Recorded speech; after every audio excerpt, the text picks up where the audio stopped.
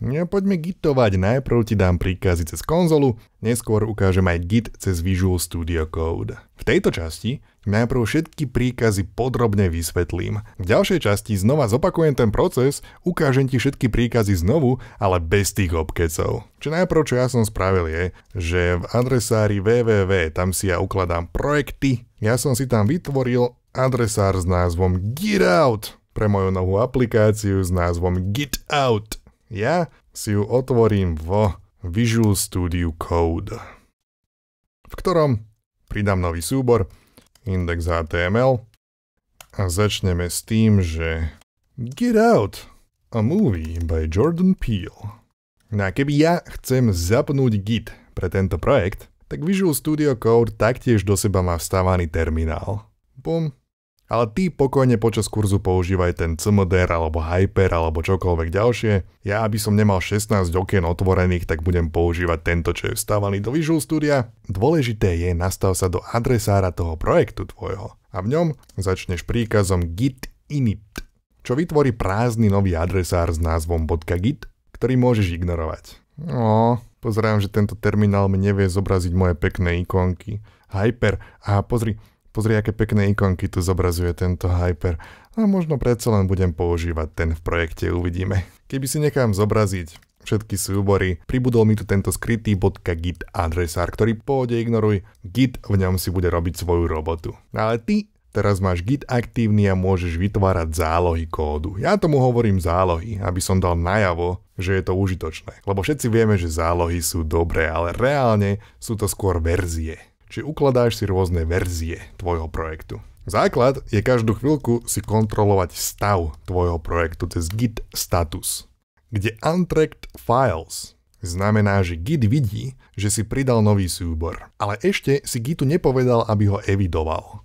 To spravíš príkazom git add index.html. Príkazom git add si označil ten súbor. Že áno, tento súbor chcem mať v novej verzii aplikácie, ale zatiaľ tam nie je, je iba pripravený na to.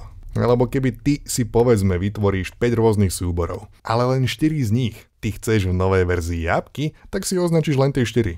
Cez git status skontroluješ stav a teraz je súbor index.html tzv. staged. Je pripravený na to, aby sa ocitol v novej verzii apky. Zatiaľ je iba v takom medzištádiu. Tú zmenu ty ešte musíš potvrdiť vytesať ju do kameňa. Cez tvoj úplne prvý git commit, kde prvý commit, uí, pridal som index.html. Pom, pom, pom.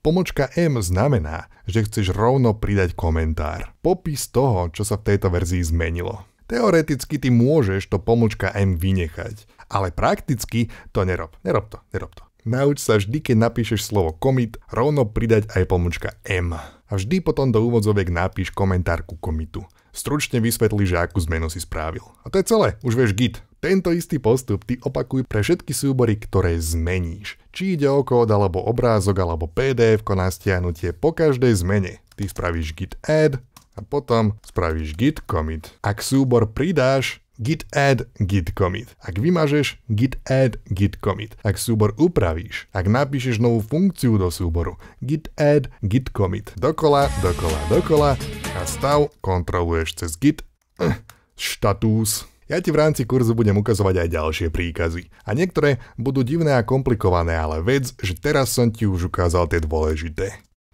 Git init, ktorým začneš, git status, ktorým overíš stav, git add, ktorým označíš, že súbor chceš v novej verzii a git commit, ktorým ho tam narveš. Čo dôležité je, aby si ty rozumel týmto príkazom. Všetko ostatné je už len bonus. Všetko ostatné je niečo, čo kolegovci ti úplne v pohode so všetkým pomôžu, neboj sa ty nič. Čiže znova, ak ty napríklad spravíš zmenu, že huh, a good film. Spravil som zmenu cez git status. Mi napíšeš, hej, tento súbor vyzerá byť upravený ale zároveň hovorí, že nič nie je staged.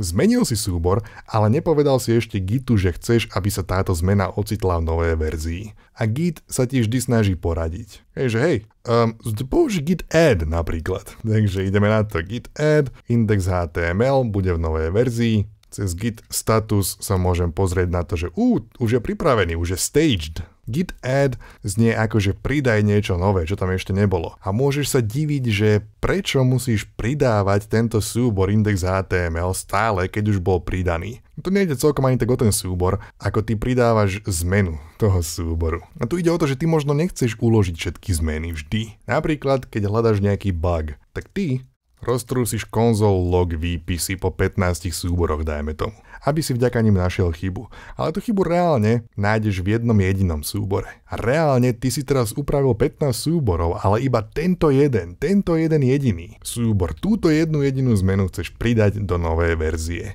Tak git addneš iba tento jeden súbor a zrazu nemusíš manuálne vymazávať ten konzol log zo 14 ďalších súborov, lebo git na ne jednoducho zabudne. Lebo zmeny v nich neuložíš do novej verzie programu. No iba zmeny v súboroch, ktoré ty označíš cez git add, sa ocitnú v novej verzii. Paradoxne git add používaš aj keby súbor vymažeš. V každom prípade mám jeden súbor označený, že má ísť do novej verzie, takže git commit pomočka m, nový cool odstavec som pridal do súboru pom.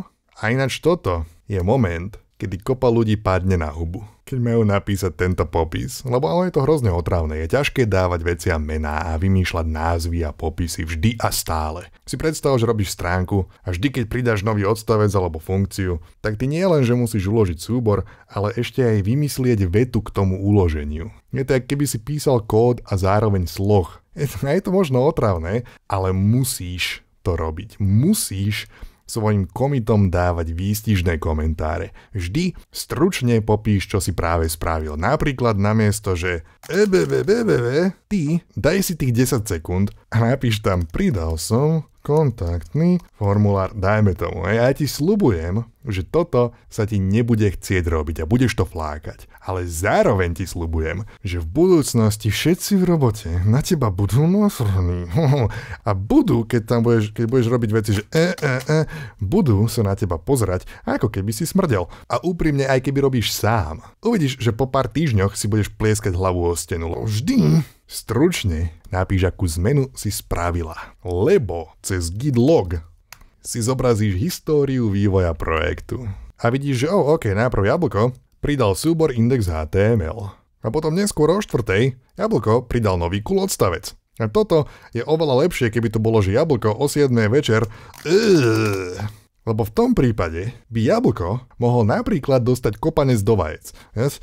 Že teraz pridám si dva súbory do môjho projektu about HTML a bude to about a v odstavci bude, že about us. Also, a film by Jordan Peele. A povedzme, že rovno si pridáme ešte aj súbor, že app.js. Akože sa hráme na nejakú Node.js aplikáciu. Oh, no. Kde v tomto prípade, keď si nechám zobraziť git status, Mám tu dva nové súbory, ktoré musím pridať, no a ono ty niekedy medzi dvoma verziami appky môžeš pridať povedzme 15 súborov. A bolo by otravné git add, git add vypisovať 15 krát, tak máš rôzne skrátené verzie zápisu. Môžeš napríklad povedať, že git add všetky súbory končiace na príponu PNG, dajme tomu. Alebo častokrát ty budeš písať git add bodka, čo označí všetky súbory v tomto adresári. V mojom prípade git status označili sa tieto dva nové súbory. Kde git commit, vymyslím tomu, komentár pridal som about html a app.js, pum, keď sa pozriem na git status, šup, nothing to commit, môj strom je čistý. všetko je čisté, žiadna zmena, všetko je fajn.